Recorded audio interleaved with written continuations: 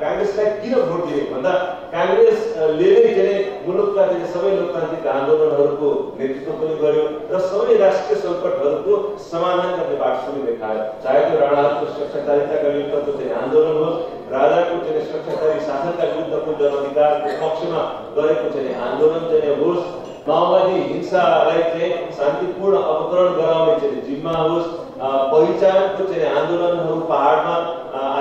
जनजाति मधेसमा चाहिँ यी आन्दोलनहरू चाहिँ उठे दलितहरूको महिलाहरूको चाहिँ मुद्दा थारूहरूको चाहिँ मुद्दा मुस्लिम समुदायका चाहिँ मुद्दाहरू चाहिँ